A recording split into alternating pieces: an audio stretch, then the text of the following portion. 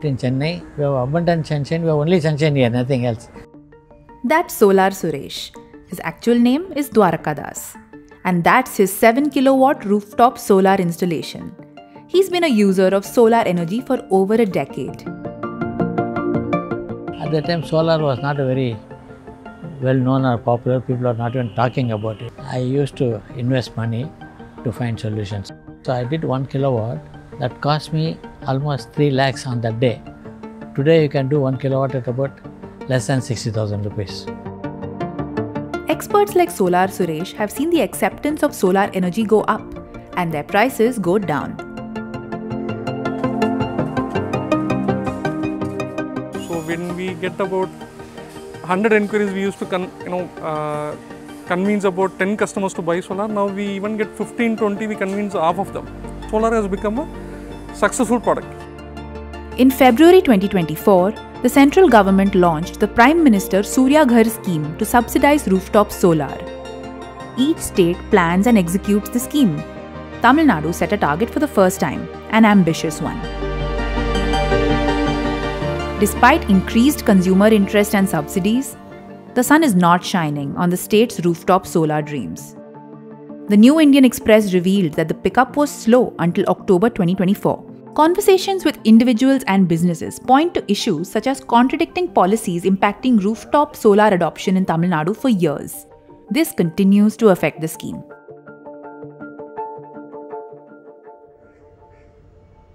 Residential rooftop solar has given rise to prosumers, consumers who are also electricity producers. They can generate their power in the daytime, reducing dependency on power suppliers. They can also supply excess power they produce back to the grid. This on grid rooftop solar allows them to consume electricity from the grid without sunlight too. Yoganand is one of those in Tamil Nadu's tier 2 towns who have responded to the solar boom. He set up a small business selling rooftop solar panels to prosumers in Tiruchirappalli. அந்த Modi PM இது வந்ததுக்கப்புறம் எங்கள் வீட்லேயும் solar போடுங்க எங்கள் வீட்டில் solar போடுறேன் ஆக்சுவலாக நான் ஜென்ரலாக கஸ்டமருக்கு ஃபஸ்ட்டு ப்ரிப்பேர் பண்ணுறது உங்கள் வீட்டில் கரண்ட் பில் எவ்வளோன்னு கேட்போம். தௌசண்ட் டூ தௌசண்ட்னா வேண்டாம். இபி பில்லுக்கு போக வேண்டாம் நீங்கள் அப்படின்னு சொல்லிடுவேன் நானே சொல்லிடுவேன் நான்.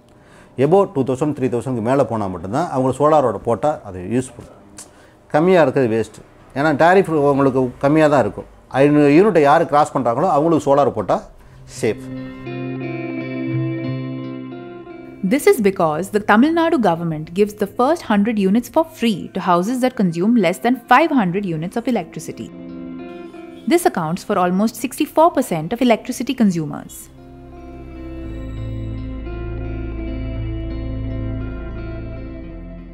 the majority of the uh, rural uh, population uh, consumes only less than 100 units or maximum of 100 200 units per by bicycle so the uh, the uptake of rooftop solar in urban is more and the uptake of rooftop solar in rural is nearly zero Moreover, commercial users cannot avail of the solar subsidy. So, it's largely the residential prosumers in urban areas who might benefit. This 3 kilowatt will 3.3 kilowatt solar power plant will cost about 1.2 lakhs after subsidy And the subsidy takes about 3 months of time to get credited into the customer's bank account. The scheme offers a maximum subsidy of 78,000 rupees for on-grid solar above 3 kilowatt and the remaining amount the consumer has to pay from their pocket. Many banks offer loans to residential prosumers too. Solar adoption ஜென்ரலாக கம customer நீங்கள் வந்து base பண்ணி பார்த்தீங்கன்னா கமர்ஷியலுக்கு இருக்குது domestic இருக்குது domestic வரும் இதில் வந்து பார்த்தோம்னா நமக்கு அவங்களுக்கு ஃபஸ்ட் இனிஷியல் வந்து காஸ்ட்டு கூட இதுக்கு எதுவும் பேங்க் சொல்கிறாங்க ஆனால் அது சரியாக ஈஸி வே கிடையாது இது கொஞ்சம் ஈஸியாக இருந்துச்சுன்னா கொஞ்சம் ஈஸியாக நமக்கு மூவபிள் இன்னும் அதிகமாக அடாப்ட் ஆக ஈஸியாக இருக்கும் கஸ்டமர்ஸ் அது இல்லாமல் இருக்குது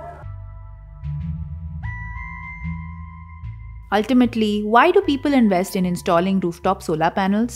To save on power bills. And if the saving is delayed, it affects their motivation, experts told Mongabay India. The rooftop solar is uh, installed by the middle income people or the higher income people. So, where they can create and budget for it and they can install it. But at the end of the day, there should be an economically viable thing.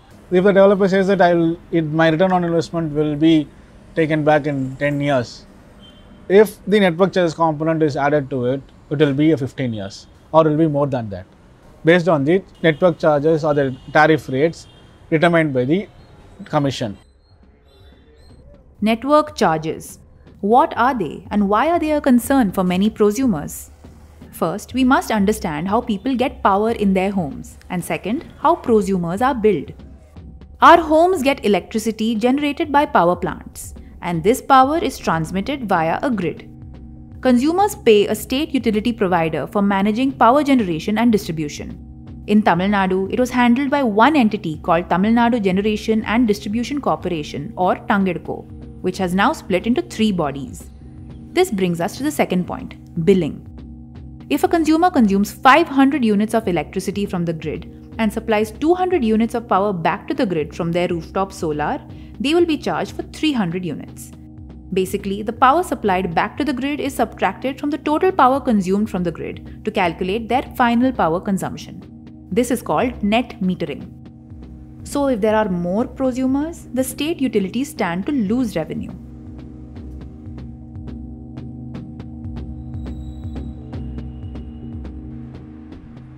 I assume that most of the people who have set up rooftop solar are from the middle income, upper middle income, and high income uh, households. So, most of these households who do that are the people who are the highest paying uh, domestic commercial uh, customers of TANGEDCO. So, the minute they leave the grid, there is a huge loss of revenue for TANGEDCO, and the TANGEDCO is left with people who are below the 500 unit mark which basically doesn't give them revenue and they are also in the subsidized category.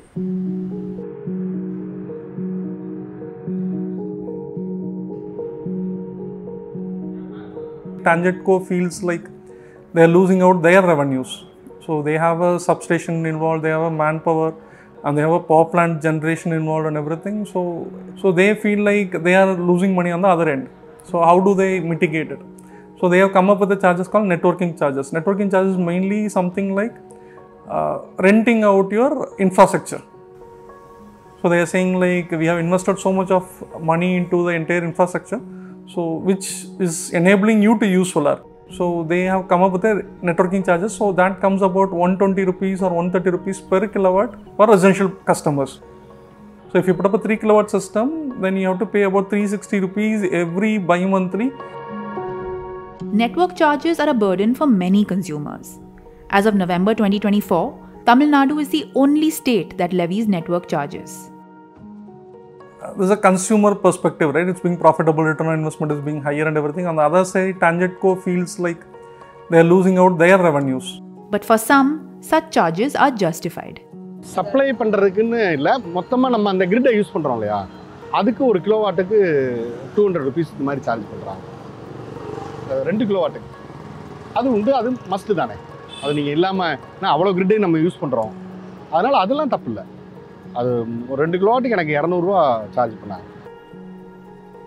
For commercial prosumers such as offices and hospitals, the deal could be worse, say experts.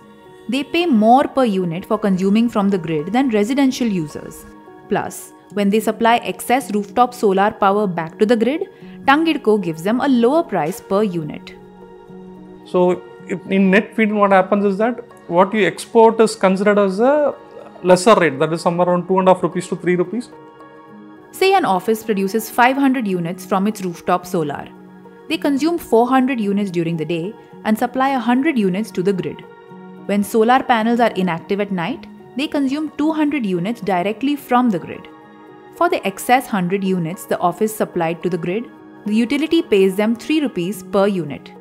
However, for the 200 units consumed at night, the utility will charge the office approximately 10 to 12 rupees per unit.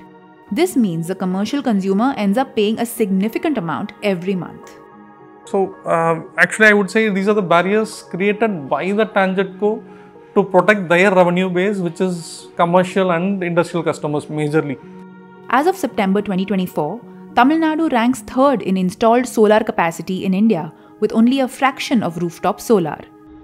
Despite the best efforts of citizens and the central government's carrot and stick techniques to push for rooftop solar, the heart of the problem is the paradoxical role entrusted upon state utilities. The central government scheme of PM Surya Ghar basically imposes this condition on TANGEDCO to or TANGEDCO or any state utility which is going through this kind of a process to give them a target to do such a thing. I feel that this is not a feasible solution. The model on which the utility survives, selling power, getting revenue itself is under question. The old world thinking is to figure that you go slow on your target until you are able to figure out a way out for yourself. It's like this Chakravyuh, know, they get caught in a slow moving Chakravyuh, which is of external forces, which is making them, basically the central government making them to do these things and the state government being asked to do certain things.